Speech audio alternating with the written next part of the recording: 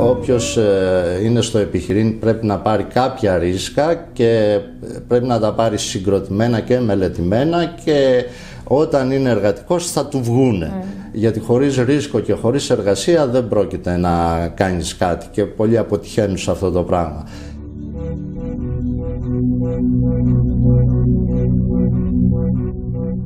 Εδώ και δύο δεκαετίες ενισχύουμε την ελληνική γη.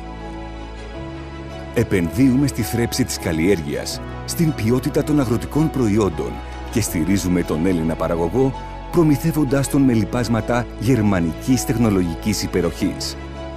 Επενδύουμε στην Ελλάδα. Καινοτομούμε στον τόπο μας αξιοποιώντας τις δυνατότητές του. Combo Expert, η ειδική στη θρέψη.